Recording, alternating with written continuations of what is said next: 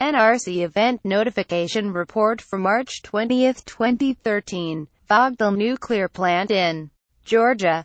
Emergency declared.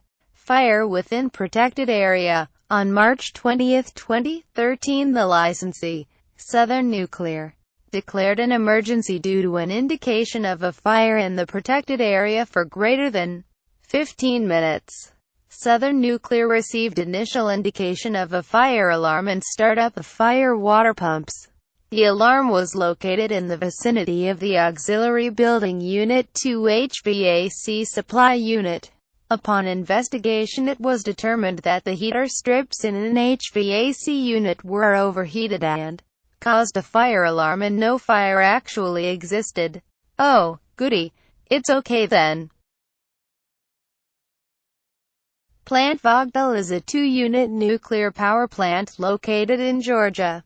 Each unit has a Westinghouse pressurized water reactor with a General Electric turbine and electric generator. Units 1 and 2 were completed in 1987 and 1989 respectively.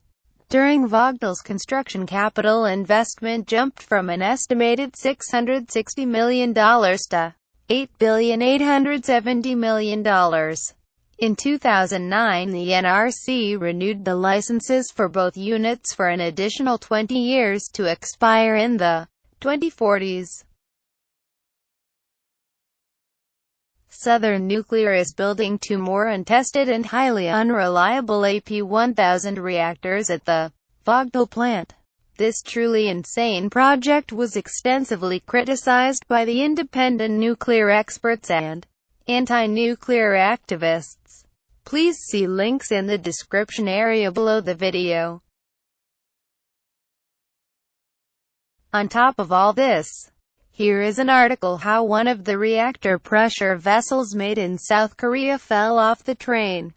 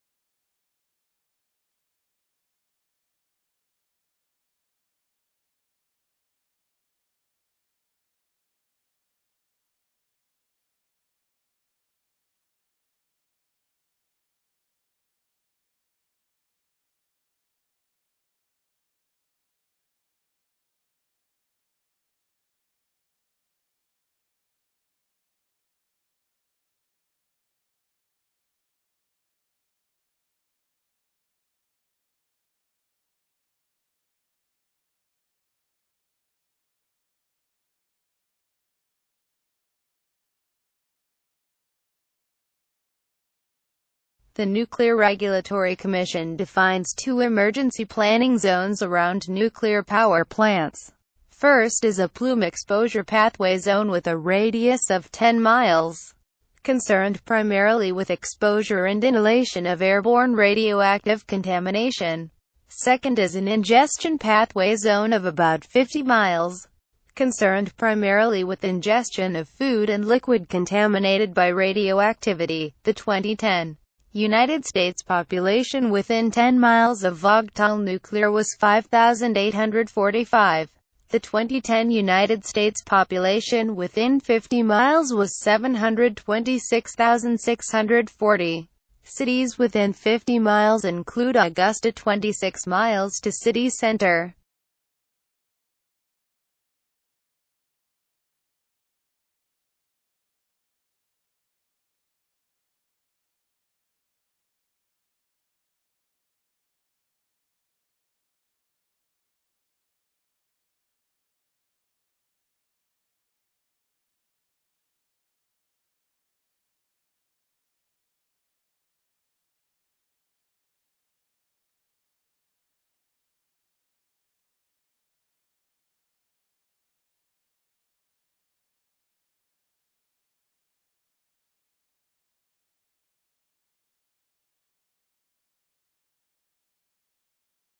Finally, here's what Arnie Gundersen of Fairewinds Associates has to say about these two new monstrosities. Hi, I'm Arnie Gundersen from Fairewinds. In the past, we've talked about how the accident at Fukushima should teach lessons to the 100 operating nuclear reactors here in the United States and the 400 operating nuclear reactors around the world. The Nuclear Regulatory Commission had a task force that evaluated Fukushima and found 40 pages worth of concerns. Well, today I wanted to talk to you about how those Fukushima lessons should be applied not to the operating reactors, but to new reactors that are being constructed in China and are being proposed right here in the United States. There are lessons to be learned here for these new reactors.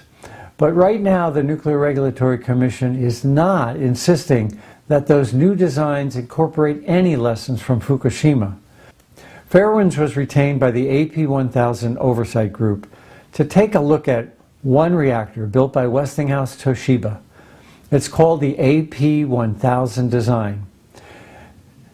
They asked us to take a look at Fukushima in relationship to this AP1000 design to see if it really is safe enough. This AP1000 design is different than any reactor that's ever been built. There are several of these being constructed in China right now, and about a dozen that are proposed in the southeastern part of the United States. What makes the reactor unique is that it has a huge water tank on the roof. It's about 6 million pounds of water that sits directly above the nuclear containment. In the event of an accident, a waterfall is supposed to begin that will flow over top of the nuclear containment and take the heat away as a cloud of steam. Now that 6 million pounds will last between two and three days, and then it's empty and it has to be replenished. This design has never been tested as a full-scale test. What's the rush? There's no power requirements that are uh, pressing in either Georgia or South Carolina. And in fact, when these plants are built, electric rates are going to go up. They're going to go up a lot. So what's the rush? It seems to be congressional pressure is being put on the Nuclear Regulatory Commission to get these plants licensed. Industry pressure is being put on the Nuclear Regulatory Commission for the same goal. And on top of that, the states of Georgia and South Carolina are anxious to have about 4,000 unemployed construction workers have employment for the next three or four years as these plants are being built. This isn't about safety. This is about pressure being applied on the Nuclear Regulatory Commission by Congress and the nuclear industry. As a matter of fact, the NRC has actually said, well, we'll worry about the Fukushima modifications while these plants are being built. I don't think that's a good idea. I think the, the, the right way and the least expensive way would be to incorporate the Fukushima modifications in the design before the design certification is issued. I've looked at the design and I found about six areas where the Fukushima lessons can directly be applied to this AP1000 design. First, this AP1000 design, built by Westinghouse Toshiba, has a containment whose maximum design pressure is 59 pounds. When you do the calculations after an accident, not including any lessons learned from Fukushima, it turns out that the accident pressure is 58.3 pounds. So there's only seven tenths of a pound of pressure difference between what engineers expect will, will happen and what the containment is designed to withstand. Now, 59 pounds is about the pressure in a bicycle tire. And we're talking about seven tenths of a pound difference between its maximum design pressure and what Westinghouse Toshiba thinks an accident will really create. I think it's too close to the margin. And we still haven't factored in any of the lessons that we've learned here on Fukushima. The second Fukushima lesson that has not been incorporated in this Westinghouse Toshiba design is the fact that the reactor at, at Fukushima is continuing to generate heat from something called an inadvertent criticality well after it should have shut down. Now, Westinghouse Toshiba assumes that after an accident, the control rods fall in and the heat from the nuclear chain reaction stops. What Fukushima has showed us is that that may not be the case. There may be a chain reaction that continues even after the um, control rods were supposed to fall in. That creates extra heat and extra pressure inside the containment. Now, this containment is within seven tenths of a pound of pressure from what its design value is. And that means that any extra heat generated from an inadvertent criticality is going to push the containment pressure above what it's designed to handle. The third Fukushima lesson that needs to be incorporated in this Westinghouse Toshiba design is something called the loss of the ultimate heat sink. At Fukushima, the cooling pumps were right along the ocean, and the tsunami came in and destroyed the pumps. This picture shows rubble all the way along the coastline of the, of the Fukushima reactor. That's where the pumps that cool the plant are. But without pumps to cool the plant, there is no way to get rid of the heat from that nuclear reactor. It doesn't matter that the diesel generators were flooded. Even if the diesels had worked, the pumps that cool the diesels and the pumps that cool the reactor had been destroyed by the tsunami anyway. This is called the loss of the ultimate heat sink and is something that the NRC is not paying attention to in operating nuclear reactors, let alone this AP1000 design. Well, how does the loss of the ultimate heat sink pertain to this Westinghouse Toshiba design? The Westinghouse Toshiba design on the roof has the ultimate heat sink. It's that six million pounds of water that's designed to fall like a waterfall over the outside of the containment structure. If it doesn't work, you're back at Fukushima all over again. So the question then becomes what could cause the tank on the roof to fail? There's a report on our website that details many reasons why that tank may fail, but basically it boils down to three different areas. The first is that from a seismic standpoint, the, the wrong place to put all the weight in a power plant is on the roof. Because when the earth shakes, the top shakes more. So, from a seismic design standpoint, it's the wrong idea. The second, and probably even more critical issue, is that from a terrorism standpoint, the biggest target on site is in the most easily accessible location, right on top of the containment. It's not designed for an airplane strike. and it's plainly visible for tourists if they decided that they wanted to take out the ultimate heat sink. And the third reason is, you'll recall that at Fukushima there was an explosion at one reactor that threw shrapnel into the surrounding reactors. Well, the Vogtle site and the VC Summer site have other reactors on them. If the other reactor has an accident and explodes, the shrapnel from those reactors can wipe out the tank on top of this AP1000 design. So for those reasons and others, it is entirely possible that you can have a loss of the ultimate heat sink on this Westinghouse Toshiba design. But the Nuclear Regulatory Commission assumes that the probability of this happening is zero. They assume it cannot happen. I don't think that's right, especially in light of what we learned at Fukushima. The fourth problem that Fairewinds identified for the AP1000 oversight group is the fact that the nuclear fuel pool on the AP1000 design is almost identical to the fuel pools of all of the operating reactors in the world, including the ones at Fukushima.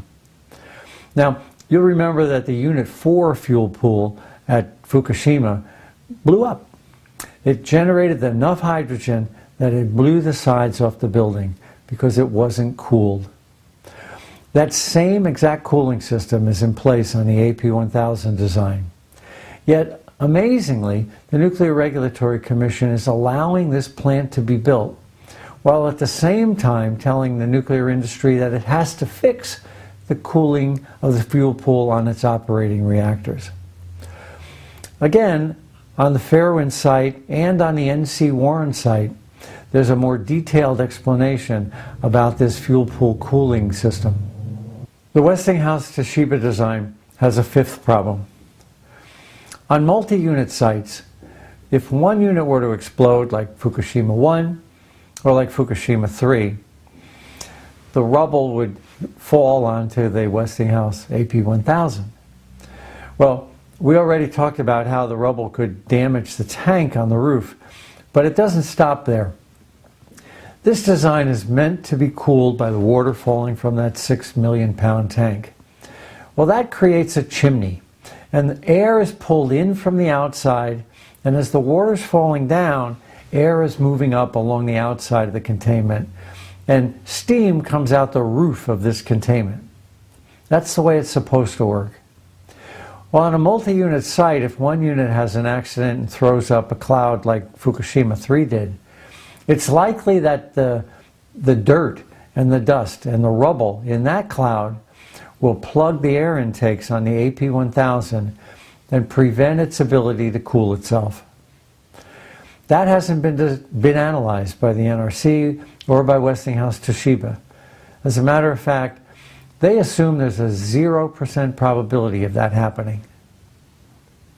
The sixth issue that Fairewinds discovered was that this AP1000 design is really, really close to its design margin. And yet the Nuclear Regulatory Commission assumes that nothing leaks out of that containment and into the gap that then gets sucked out the roof. They assume there's a zero probability of that occurring. Fukushima shows that we've had three containments that have leaked directly into the environment. Yet the Nuclear Regulatory Commission assumes there's zero probability of that very same thing occurring.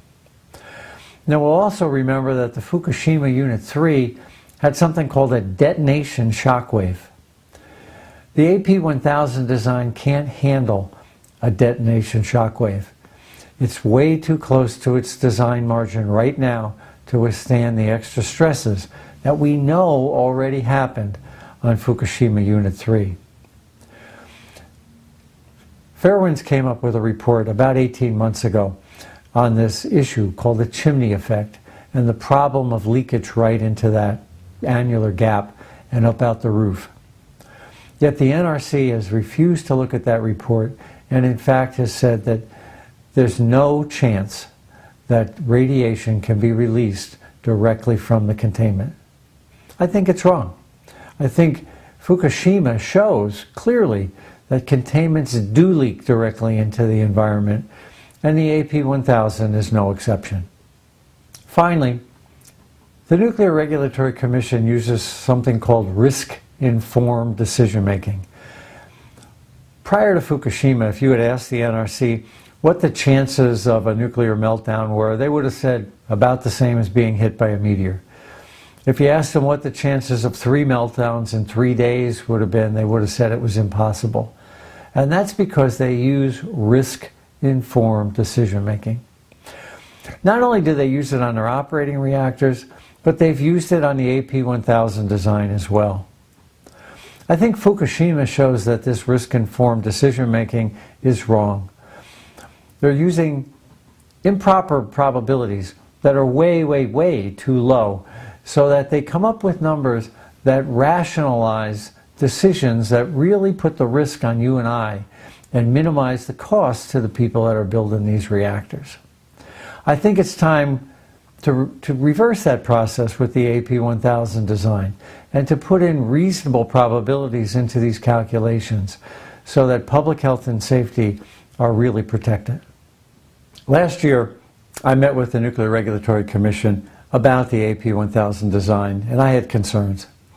I got the impression in that meeting that there was nothing anyone was ever going to do to stop this design certification from being approved.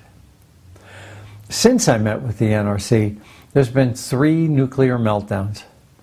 Now, you'd think that the Fukushima accidents would cause the NRC to stand back and say, What have we been doing wrong?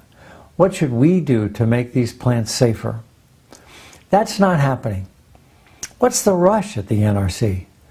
They are pushing rapidly to give a design certification to the Vogtle units and the VC Summer units. And to my mind, there's, there's no pressing need. America doesn't need the power. Georgia and South Carolina have more than enough. And when the plants are going to be built, the cost of power from them is going to be higher than anything they could buy from any other source. It doesn't make sense except for the political pressure that's being applied. Well, this full report is on the Fairewinds website and on the NC WARN website. I urge you to read the full report, and if you have any questions, please contact NC WARN at the phone number that's displayed on your screen. Thank you very much. For Fairewinds, we'll keep you informed.